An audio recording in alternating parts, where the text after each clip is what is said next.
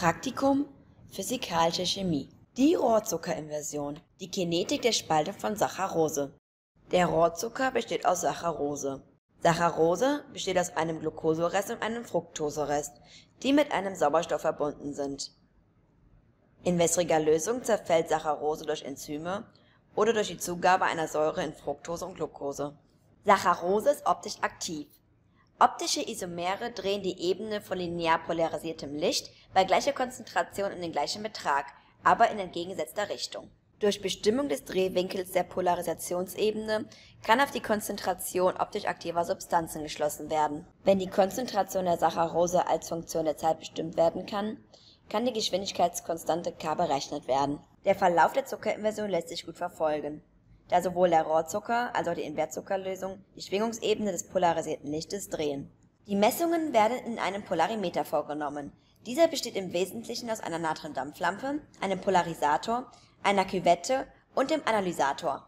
Ein Blick durch das Polarimeter zeigt bei nicht abgeglichenem Licht zwei schwarze Balken außen oder einen schwarzen Balken in der Mitte. Um den Drehwinkel abzulesen, muss der Analysator so verdreht werden, dass die Fläche gleich dunkel ist hier ist der Aufbau des Versuches dargestellt. Links befindet sich ein Thermostat auf 30 Grad eingestellt, daneben die Glasküvette sowie das Polarimeter und ein weiteres Thermostat auf 70 Grad eingestellt. Zunächst werden die beiden Thermostate temperiert. Die Wasserkühlung wird schwach angeschaltet. Außerdem wird die Natriumspektrallampe des Polarimeters angeschaltet. In einem Becherglas wird eine Rohrzuckerlösung hergestellt. Dazu werden zunächst 25 Gramm Saccharose abgewogen. Anschließend werden 75 Gramm Wasser eingewogen und die Saccharose gelöst. Danach werden 40 Milliliter einer 3-molaren Salzsäure in ein Becherglas pipettiert.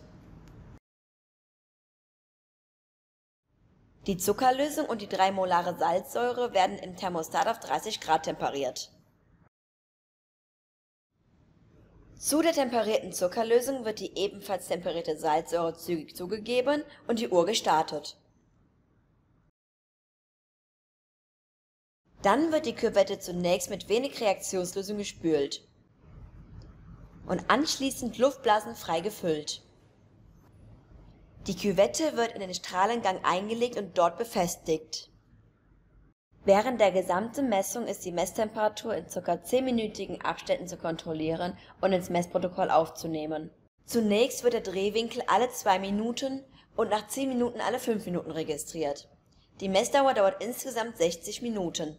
Mit einem Teil der überschüssigen Reaktionslösung wird ein 100 ml Messkolben ausgespült. Der Rest der Lösung wird anschließend in einen Kolben gegossen und mit einem kleinen Stopfen abgedeckt. Der Kolben wird in den 70 Grad vorgeheizten Thermostaten für 20 Minuten lang temperiert. Nach den 20 Minuten lässt man die Lösung auf den Tisch abkühlen und vor der Messung wird sie auf 30 Grad temperiert. Nachdem die erste Messung beendet ist, wird die Messküvette entleert und mit einer geringen Menge der zweiten Lösung gespült und anschließend luftblasenfrei aufgefüllt. Die Küvette wird in den Strahlengang eingelegt und dort befestigt der Drehwinkel wird zehnmal ermittelt. Dieser Wert liefert den Endwert Alpha unendlich. Kommen wir nun zur Auswertung. In der ersten Tabelle werden die Messergebnisse zusammengestellt sowie die relative Standardabweichung berechnet. In der zweiten Tabelle wird zunächst die Differenz von Alpha und Alpha unendlich und anschließend der Logarithmus der Differenz gebildet. Der Logarithmus der Differenz Alpha minus Alpha unendlich wird in der Abbildung 1 gegen die Zeit aufgetragen. Aus der linearen Regression der Grafik kann die Geschwindigkeitskonstante ermittelt werden. Zuletzt wird die relative Standardabweichung von Tabelle 2 über die RGP-Funktion ermittelt. In Tabelle 3 wird die ermittelte Geschwindigkeitskonstante zusammen mit drei Literaturwerten nach Arrhenius ausgewertet. Anschließend wird der Logarithmus der Geschwindigkeitskonstante ermittelt in dem Arrhenius-Diagramm wird lnk als Funktion von 1 durch t aufgetragen.